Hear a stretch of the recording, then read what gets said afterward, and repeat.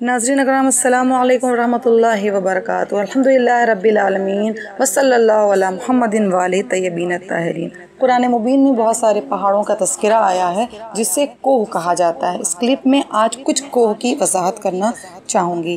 پہلا کوہ کوہ جودی کے نام سے ہے۔ اس پہاڑ کا نام حضرت نوح کی کشتی نوفان، طوفان کے بعد ٹھہری، جسے کوہ جودی کہا جاتا ہے۔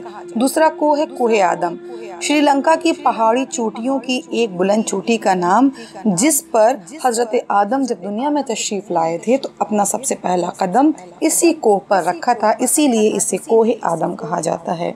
کوہ ابو قبیس۔ سب سے پہلی پہاڑی جو اللہ نے بنائی، یہ مکہ معظمہ میں مشرق و جنوب میں واقع ہے۔ معجزہ شق القمر رسول اللہ نے اسی پہاڑی پر دکھایا تھا۔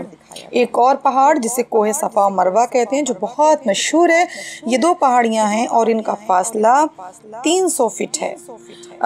خانہ کعبہ کے مقابل میں واقع ہے۔ جناب حاجرہ حضرت اسماعیل کے لیے پانی تلاش میں انہی پہاڑیوں کے درمیان گزری تھی، جسے جز اے حج و عمرہ قرار دیا گیا ہے۔ ایک اور پہاڑ جسے کوہ تور کہتے ہیں، جو بہت ہی مشہور اور معروف ہے، یہ پہاڑ شام میں ہے اور مشہور شام کا مشہور و معروف پہاڑ ہے، جہاں پر حضرت موسیٰ نے قوم کے اصرار پر پروردگار عالم سے دیدار کی خواہش ظاہر کی تھی۔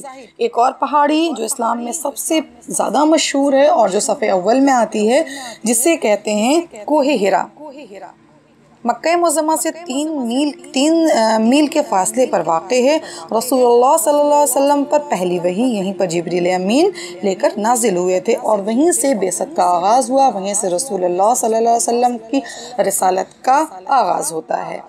جبل رحمت، میدان عرفات کی مشہور پہاڑی جو مکے سے سات میل کے فاصلے پر واقع ہے، جہاں پر حضرت آدم کی دعا قبول ہوئی تھی اور حضرت آدم کی ہوا سے زمین پر پہلی ملاقات اسی جبل رحمت پر ہوئی تھی وآخر دعوانا ان الحمدللہ رب العالمین